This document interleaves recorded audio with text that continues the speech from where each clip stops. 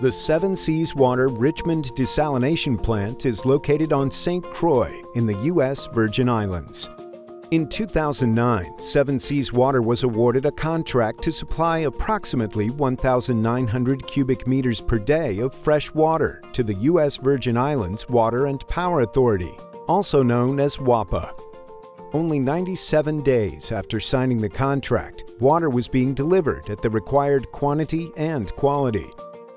Using six sets of quick deploy containerized units from inventory, Seven Seas Water was able to respond quickly to meet the needs of the authority.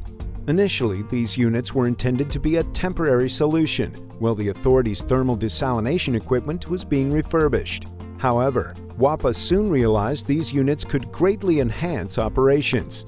By utilizing state-of-the-art reverse osmosis technology, Seven Seas Water was able to produce highly reliable drinking water at a water sales price to WAPA that was 40% less than WAPA's internal cost to desalinate water using their existing thermal desalination plant. We have remote capabilities. Uh, we have a state-of-the-art SCADA system where we can monitor all the various process flows, pressures, and make instantaneous changes as necessary. These quick deploy units produced highly reliable drinking water at a measurably lower cost than WAPA originally estimated. As a result, WAPA decided to convert the short-term temporary water supply contract, where Seven Seas Water was supplying about half of St. Croix water, to a long-term 20-year contract in which Seven Seas Water supplies 100% of St. Croix water.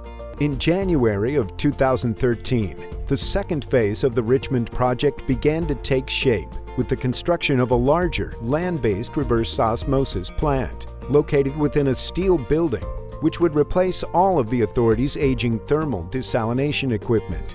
This new facility was designed to provide an additional 8,327 cubic meters per day, which not only provided WAPA with another source of reliable, high-quality water, but also permitted expansion of municipal water distribution throughout the island. With no upfront capital required from the client, Seven Seas Water can quickly deploy mobile SWRO units as well as design and construct larger-scale land-based plants under a build-own-operate arrangement. The Richmond plant begins at the intake, which is co-located with the authority's existing infrastructure.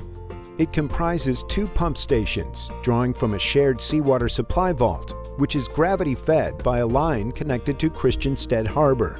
The intake vaults rest on the harbor floor at a depth of 4 meters, and the gentle intake stream creates a habitat for many marine species. On our intake structure, we see a lot of fish. We see stingrays, we see eagle rays, we see sea turtles, there's conchs out there. And so we know that we're not contributing to any negative impacts to the environment. In fact, that water flow, just bringing in that, that constant flow of water, benefits the environment. Pre-treatment is a critical step in the SWRO process, where native suspended solids, such as silt and algae in the feed water, must be removed to ensure stable and efficient operation of the SWRO membranes. The intake system transfers unfiltered seawater to the multimedia filter pre-treatment system, where most of the suspended materials are retained. The multimedia filters are periodically backwashed to remove the accumulated matter. This filter backwash and other side streams, such as SWRO reject, are ultimately returned back to the ocean through a gravity flow outfall vault. The brine that goes out is heavily diluted through the cooling water generated by the power plant. So the power plant brings in about 16,000 gallons per minute, whereas our process brings in about 5,000 gallons per minute. All 16,000 gallons of that cooling water brought in by the power plant goes back out after it's been used to cool down the system. The brine from the RO is coupled with that and heavily diluted.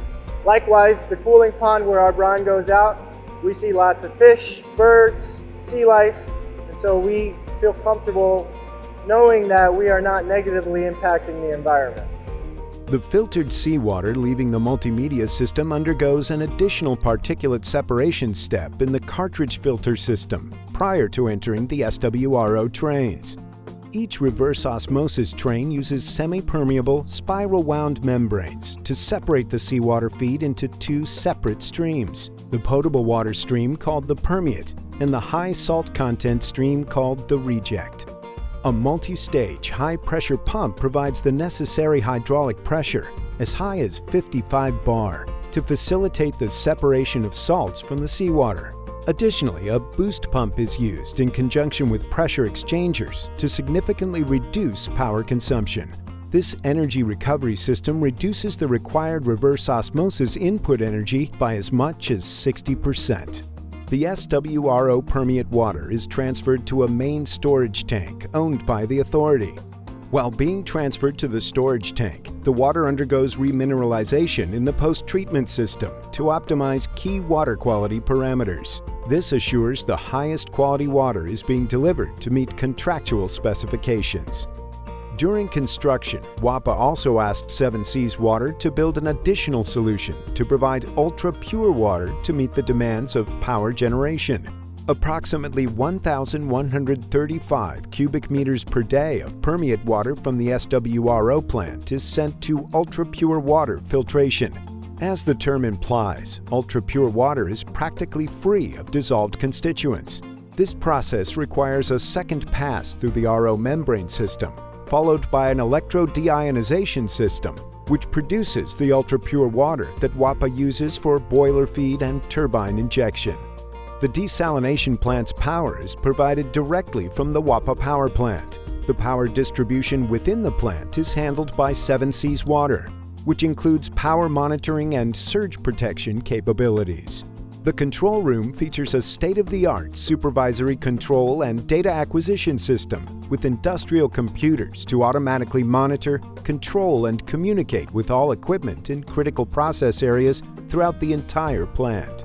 In addition, Seven Seas Water also fully owns, manages, and operates these water facilities, greatly simplifying the traditional water supply model highly trained professionals who are dedicated to operating the most safe and reliable facilities in the industry staff Seven Seas Waters plants.